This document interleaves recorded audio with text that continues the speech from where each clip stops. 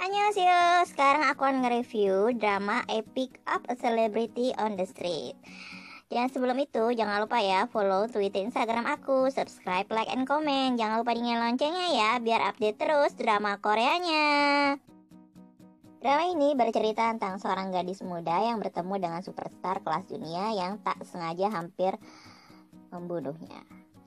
Drama ini tayang di TV Oksusu hanya ada 10 episode aja. Cerita bermula dari Lee Yeon Soo yang sedang berjalan di sebuah lorong, tak sengaja melempar sepatunya lalu mengenai kepala Kang Jun Hyuk. Kang Jun Hyuk, seorang artis terkenal dengan bayaran yang sangat mahal untuk satu iklan produk yang akan dibintanginya. Sementara Yoon Soo hanya bekerja sebagai pegawai kontrak dan harus bisa meyakinkan Jun Hyuk untuk menjadi model iklan di perusahaannya. Padahal, Yunsu hanya sebagai pegawai kontrak harus melakukan semua pekerjaan dan tak menerima gaji dari perusahaannya. Saat Yunsu mengalami kemalangan di kantor, ia juga tak sengaja membuat Jo Hyun terkapar di jalan. Ia ketakutan menjadi seorang pembunuh, akhirnya membawa Jo Hyun Jo Hyuk ke rumahnya agar tak dilaporkan oleh polisi. Tapi John Hyuk malah membuatnya menderita karena gaya hidup selebriti dan juga pemilih terhadap makanan.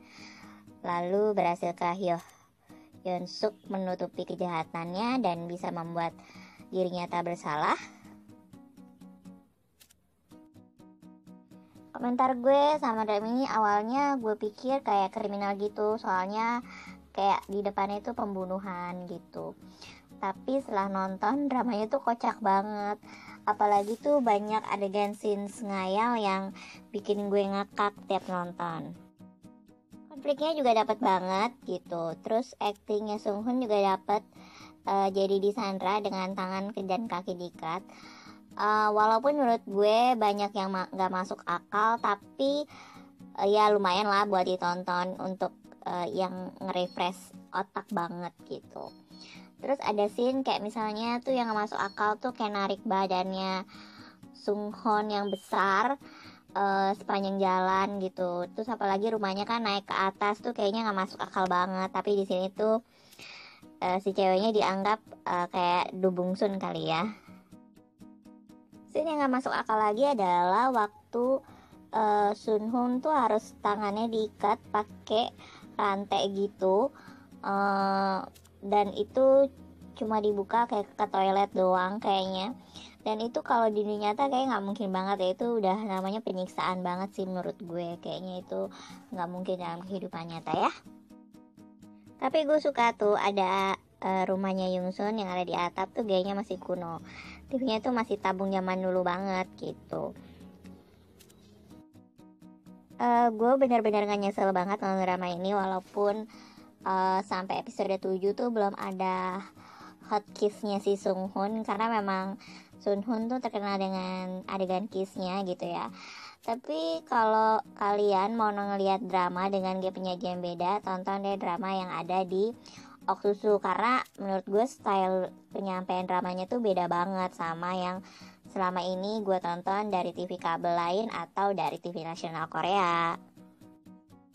Buat kalian yang pengen tahu nontonnya ada di mana, silahkan cari ya di Google dengan keywordnya download I pick up a celebrity on the street atau up, I pick up a star on the street. Nanti tuh banyak banget link-link di sana tentang uh, download drama ini gitu dan kalian download lah di situ.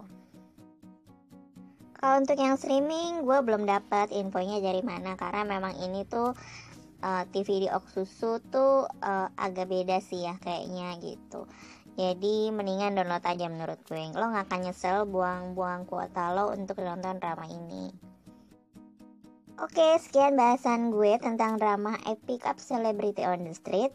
Semoga kalian suka ya dengan reviewnya. Jangan lupa kasih komen dan jempolnya. Terima kasih udah nonton.